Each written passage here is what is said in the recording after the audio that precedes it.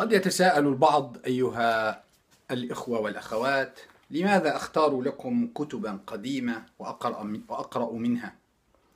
السبب هو قوانين الحماية الملكية الفكرية. فأنا لا أستطيع هناك الكثير من الكتب الحديثة الرائعة والنصوص العظيمة التي أجدها في الكتب المعاصرة ولكنني لا يحق لي استخدامها في ما أعطيه لكم لأنها لأنني لا أملك حق استخدامها ولا أستطيع أن أتحمل تكاليف شراء هذه الحقوق من المؤلفين. ولذلك أختار لكم من النصوص القديمة التي ليس لها يعني لم يبقى عليها حق ملكية فكرية. آه، لعل الله سبحانه وتعالى يحدث أمرا. اليوم سوف أقرأ لكم قصة مشهورة جدا واسمها صاغن أم هانس وغريتا. هانس وغريتا قصتهم مشهورة كتير. سوف أقرأها بالسويدية. والواجب عليكم أنتم أن تطلعوا عليها من الصور التي أضعها على الصفحة كنص. تخرجون الكلمات ثم تستمعون إلى ما أقول ثم توجهون إلي الأسئلة إن كانت هناك أسئلة. أبو أسد بده يعني اقرا لكم شوي شوي ما أقرأ بسرعة طيب Sagan om Hans och Greta. Det var en gång en gosse och en flicka. Och gossen hette Hans och flickan Greta. En dag till skogen deras mor de skicka att efter svamp och röda smultron leta. I skogen lyste bären röda, klara. Nu, nu, nu gällde det att skynda sig och blocka. Så fick man korgen full av smultron rara. Men boja måste man och djupt sig bocka. De hade blockat alla korgar fulla. Så sade Hans. Ack, som om vi nu fick äta en smörgås var och så en vetebulla. Och ja, det vore gott, sa lilla Greta. Men titta, nej, se dit, vad kan det vara? Ett litet lustigt hus av, av pepparkaka? Av socker och choklad och mandelbara? Tänk vad det ändå skulle härligt smaka. Håll upp ditt förklä, Greta. Och med detsamma så ska du få när jag är i tagen. Och sen så ska vi gömma hem till mamma.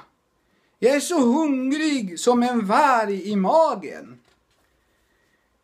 Knaper, knaper, knus.